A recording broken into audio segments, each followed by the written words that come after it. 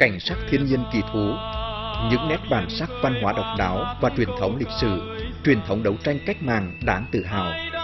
Khí chất của những ngư dân ăn sóng nói gió, chân chất mộc mạc nhưng mạnh mẽ và đầy bản lĩnh. Những làng quê chủ phú, nhộn nhịp xuôi ngược những con tàu đầy khoang tôm cá. Tất cả đều được thể hiện trong bộ ký sự Những làng biển Quảng Bình.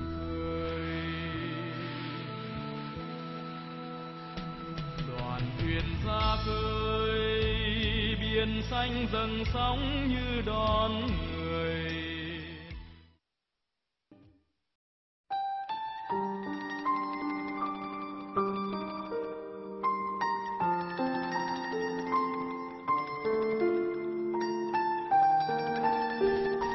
Thực hiện các tập ký sư về Quảng Đông, xã biển cực Bắc của tỉnh Quảng Bình, chúng tôi chọn điểm dừng cuối cùng tại Vũng Chùa, đảo Yến.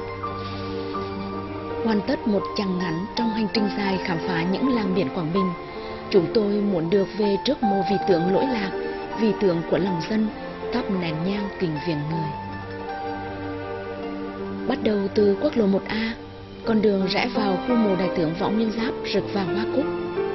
Kể từ khi đại tướng về yên giấc nơi đây, người Quảng Đông đảm đương thêm một công việc mới mẻ, đó là cung ứng hoa tươi phục vụ khách thập phương đến viếng mộ người. Những bông hoa cúc vàng được chăm chút, bảo quản cẩn thận luôn rực rỡ sắc màu thanh cao, đôn hầu, ấm áp như nắng vàng, như cát, như đồng lúa chín, lung linh như những ngôi sao vàng năm cánh trên nền cờ đỏ tung bay trao những bó hoa cho dòng người vào viếng mộ. Người Quảng Đông gửi vào đó niềm tình yêu dành cho bậc vĩ nhân, văn võ song toàn. Con đường nhỏ trước đây chỉ là lối mòn men theo trên núi, bây giờ được rải nhựa phẳng lì. Để kịp cho ngày đại tướng trở về mãi mãi với mảnh đất quê hương, công ty cổ phần tập đoàn Trường Thịnh đã thần tốc thi công chỉ trong 5 ngày hoàn chỉnh toàn bộ tuyến đường cấp phối dẫn vào khu mộ, rồi sau đó thực hiện tiếp những phần việc còn lại để có được một con đường đẹp, thanh thang mỗi ngày đón khách thập phương về dân hương. Khu mộ đại tướng nằm lưng chừng ngọn núi mà cư dân địa phương gọi là núi Thọ, cao khoảng 130 mét so với mực nước biển. Đây là ngọn núi thuộc dãy Hoàng Sơn, tiếp giáp với núi Sú ở phía tây, cao khoảng 130 mét, trải dài theo hướng đông nam với mũi rồng hùng tráng vươn ra phía biển. Gọi là mũi rồng bởi nơi núi Thò gặp biển có hai hang đồng nhỏ. Khi triều dâng, sóng biển tung bọt trắng xóa, thọc sâu vào hang rồi trào ngược ra, giống hệt con rồng khổng lồ đang phun nước. Nhiều người cho rằng núi Thò là nơi minh đường thủy tù, thế như rồng cuồn hổ ngồi, là vùng đất thiêng do trời đất sắp đặt mà có ngọn núi làm điện tựa phía sau và phía trước là biển cả với khoảng không gian rộng mở đến vô cùng.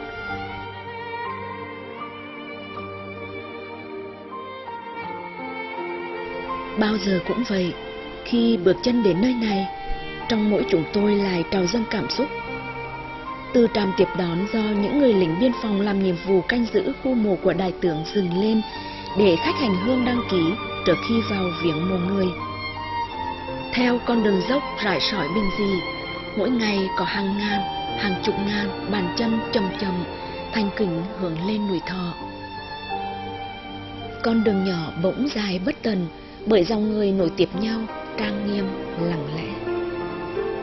Vũng chùa Đạo Yến trở thành địa chỉ đỏ không chỉ riêng với người dân Quảng Bình, quê hương của phi tướng tài ba, người con ưu tú của dân tộc, mà còn là của hàng triệu người dân khắp mọi miền tổ quốc và của cả du khách quốc tế. Dường như cộng đồng dân cư ba miền Bắc, Trung, Nam đều tìm về nơi đây, hồi tù tại vùng đất thiêng Vũng Chùa Đảo Yến, để cùng đắm mình trong niềm tự hào về cội nguồn con lạc cháu hồng. Chẳng có thước đo nào đáng quý hơn lòng người. Các tầng lớp nhân dân về bên mồ người, tay trong tay cùng thắp lên ngọn lửa của niềm thành kính, lòng biết ơn, ngọn lửa của niềm tin, của kỳ vọng về những giá trị vĩnh hằng của trí nhân tâm, của chân thiền mỹ. Mọi người xích lại gần nhau hơn, hòa đồng và thân ái trong cảm xúc chân thành và thành thiền, tôn vinh một nhân cách lớn, một con người vĩ đại mà bình dị, suốt cả cuộc đời dĩ công phi thường, cống hiến cho sự nghiệp cách mạng của dân tộc.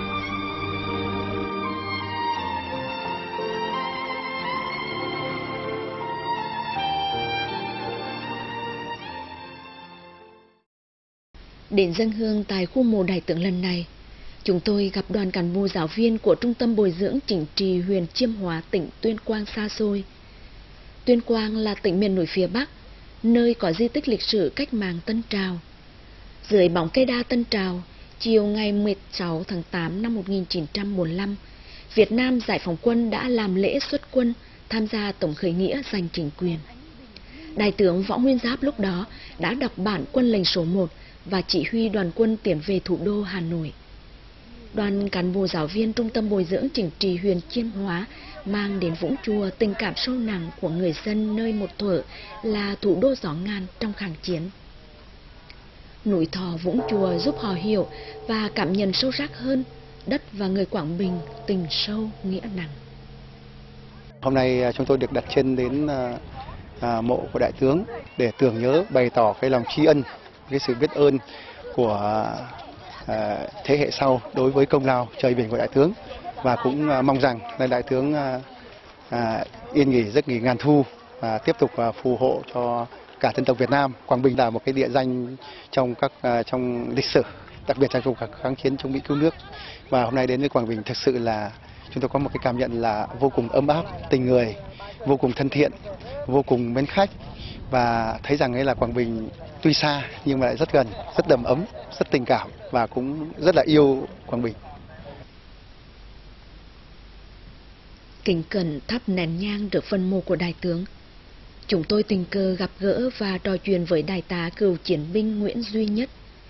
Ông cùng với trên 60 cựu chiến binh phường Nghĩa Tân, quần Cầu Giấy, thành phố Hà Nội ghé vào Vũng Chùa Đạo Yến viếng mộ đại tướng trong hành trình từ thủ đô vào miền Nam thăm lại chiến trường xưa. Ông Nguyễn Duy Nhất là người lính dàn dây Trần Mạc, đã từng cầm súng chiến đấu tại chiến trường miền Nam, Hà Lào và biên giới phía Bắc. Đại tá cựu chiến binh Nguyễn Duy Nhất tâm sự rằng những người lính từng đã có một thời đi qua lửa đạn như ông.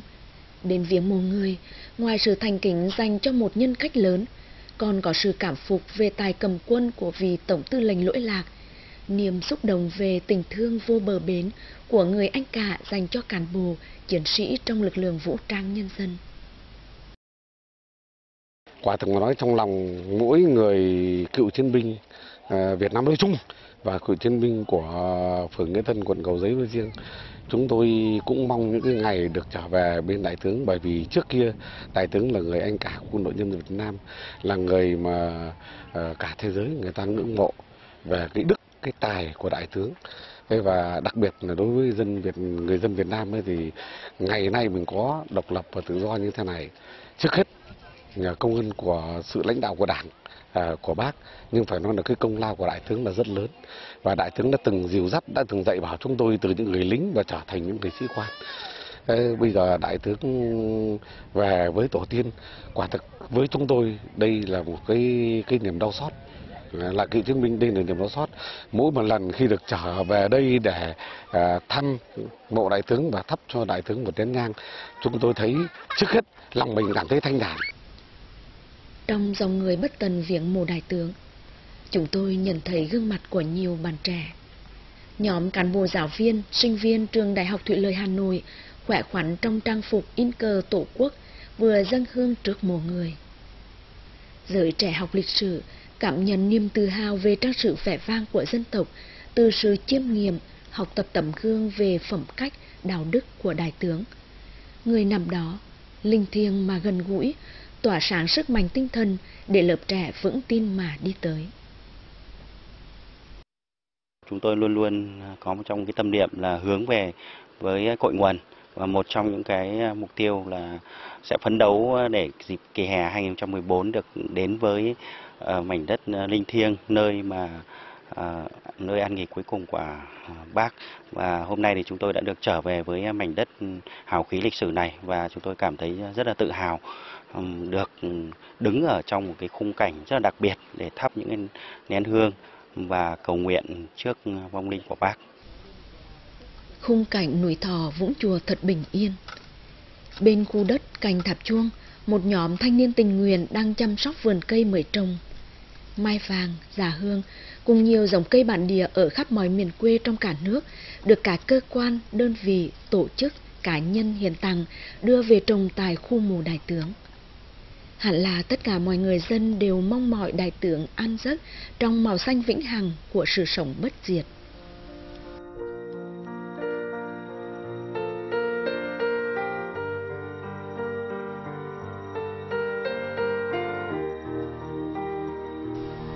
Đứng trên sườn núi Thọ phóng tầm mắt ra xa, biển Vũng Chùa xanh phẳng lặng.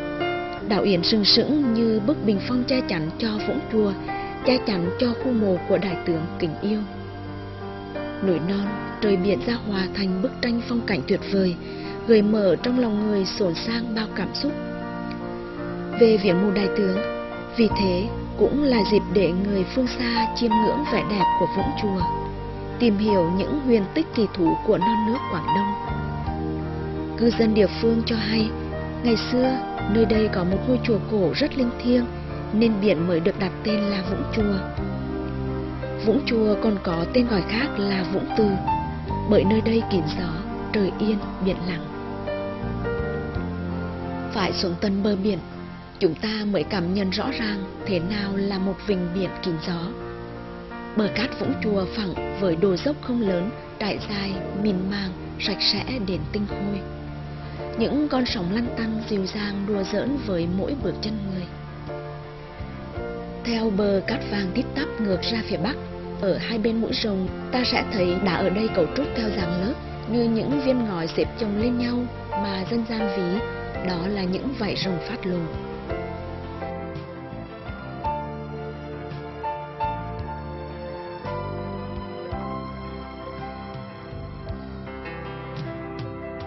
Từ Vũng Chùa đi thuyền khoảng trên dưới 20 phút là ra tới đảo Yến.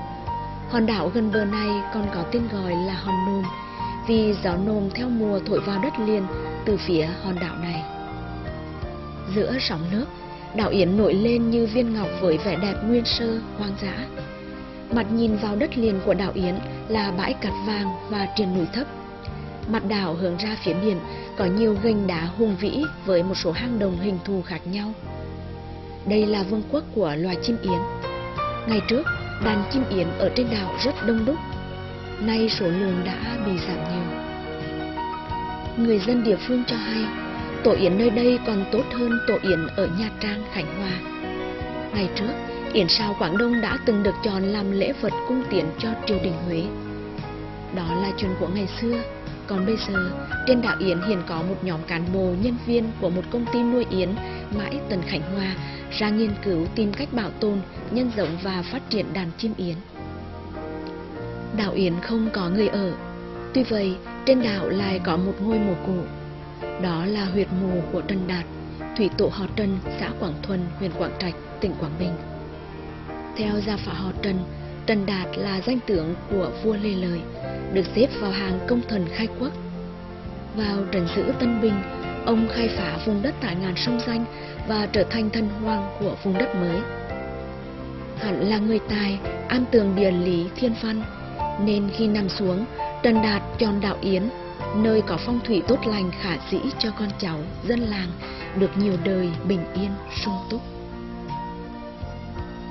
Vậy là hai danh tướng, hai anh hùng của dân tộc ở hai thời đại khác nhau, cách nhau khoảng năm thế kỷ, cùng chọn Vũng Chùa Đạo Yến làm nơi an nghỉ ngàn thu. Vậy là vùng đất nơi kim quy giáng tích, nơi kình ngư quả hải, nơi mãnh hổ xuất lâm, nơi minh đường thủy tù, huyền vũ cao dày, mãi mãi là đất thiêng, thiên cổ. Đại tướng Võ Nguyên Giáp đã về với Quảng Đông, về với quê hương Quảng Bình nắng gió. Đó là hồng phúc của người dân biển Quảng Đông. Trên vùng đất linh của núi Thò, Vũng Chùa, trong tột cùng tôn kính của muôn đời, một ngày nào đó đại tướng sẽ hiển thánh, sẽ là đức thánh võ hiền từ, nhân hậu, như danh tướng Trần Hưng Đào thuở nào, vì được muôn dân ngưỡng mộ mà hiển linh nên đức thánh Trần vậy.